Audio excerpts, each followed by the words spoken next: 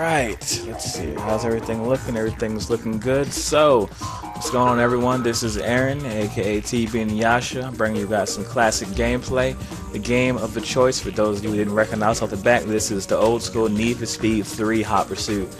Now, a lot of you have been questioning where's my initial D, Forza, Gran Turismo, Wangan, Import Tuner Challenge, other racing games, etc. Um, those games will be coming, but you know I want to show some of the credibility to some to some of the old school racers out there. So I want to go ahead and just you know hop right into it. Um, it's one of those games I grew up on, so I figured I you know pick it up on Amazon.com and give it a try here. Now the first thing that I found weird, and I don't know if I noticed this as a child, but this game has beginner or expert. Now I'm not a beginner, and I don't think I'm an expert on this game, but whatever. Let's go ahead and play. Style is going to be arcade. We're going to go into right into Hot Pursuit. Did not enter any cheat codes, so I'm just going to play straight through without going to these nice little tracks over here. It's okay. To go to hometown, quick two laps.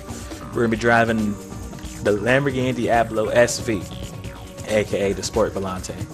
Um, and then I'm taking on the BMW Nazca, or is it Nazca? I don't know the proper way to pronounce that. Someone please let me know. Um, I think this vehicle has only been in Need for Speed 2 Special Edition in this game. It's a, it was always a concept vehicle like the Ford GT90, but in my opinion, it would have been very nice to see this this uh, car actually produced. I think it's a pretty nice looking vehicle. Back when I was young, I didn't know what the hell it was. I was like, "Yo, what is that car?" And then I looked it up, and I was like, "Oh, it's a BMW. Huh, looks pretty cool." So if there's anyone who works at BMW watching this video, you heard it first from me. Make that car. So here we go. Lamborghini versus BMW. Three, two, nice smooth one, music. Go. Very nice launch. There's a plane above me. Now I'm probably going to be complaining at these graphics right now because I'm on a high definition television. Probably once I edit this video everything will look fine, but my eyes are bleeding right now. Now, when I hit the brakes on this game, it's kind of like the modern Need for Speed and Hot Pursuit game. You automatically go into a drift. Your car oversteers. Now, when I was a young child, I did not know what drifting was.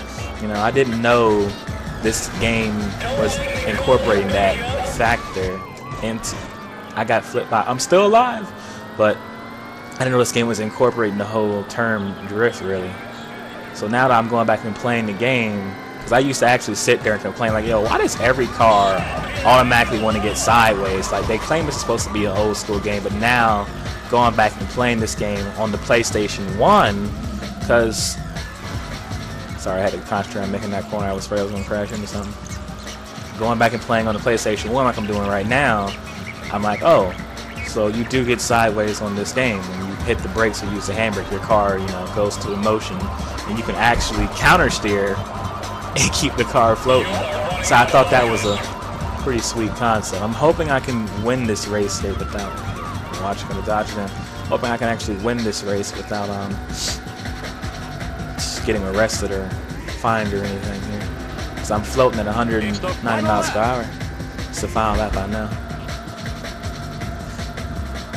And this game actually has understeer in it. Now, what, what I find funny is some people always talk about the good old concept PC versus console. Well, back on the PlayStation 1 versus PC, some racing games were indeed better on the PlayStation 1 than the PC. Now, I know you can mod on the PC, but in terms of gameplay, the cops sucked, the traffic sucked, the AI sucked. You could pretty much smoke any and everyone. I crashed there, but there's no cops to recover. But basically, I mean, the physics are a lot better and it's more of a challenge on the PlayStation. Of course, on PC, you can mod the graphics, add your own stuff. That's cool, that's fine and dandy. But you know, I want a little bit of a challenge. This game right here, it gives it to you. That is a spike strip. Oh, oh no. Am I arrested? under arrest. Time to well, that sucks. I got arrested. I can still turn my wheels. Get off. So, you know, a minute and seven seconds into the race, I got arrested.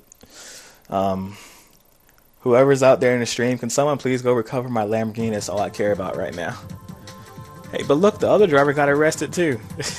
so it all works out. We both got arrested. Two laps on the hometown. But um, this game is still uh, relatively fun, and for those of you who follow all my videos on YouTube, um, and for those of you who are new on my YouTube, let me go ahead and point out people who are new. For those of you who are new, I have tons of Initial D and Wangan and other racing material. You just go to a few of the playlists I have set up. You can watch some of my online battles, some of my replays. Um, it's really enjoyable stuff. I'm gonna be, I will be bringing some up-to-date content, and I'm gonna go ahead and just please the viewers out there. And I'm gonna also let everyone know as a bundle that um, I'm going to start giving out prizes and things like Microsoft points or PlayStation Plus or Xbox Live for a year. You know, I'm going to start giving out things such as that in that aspect. So, for those of you who like little special gifts or little extra features, there you go. Let me know ahead of time. I will be doing that entire process. So, this is TB InuYasha signing off. Hope you enjoyed the video. Please subscribe to my YouTube, and if you're interested in joining our racing team, or shooter team or fighters, anything, we're still recruiting, always accepting applications. So you can go ahead and register on travelboys.net.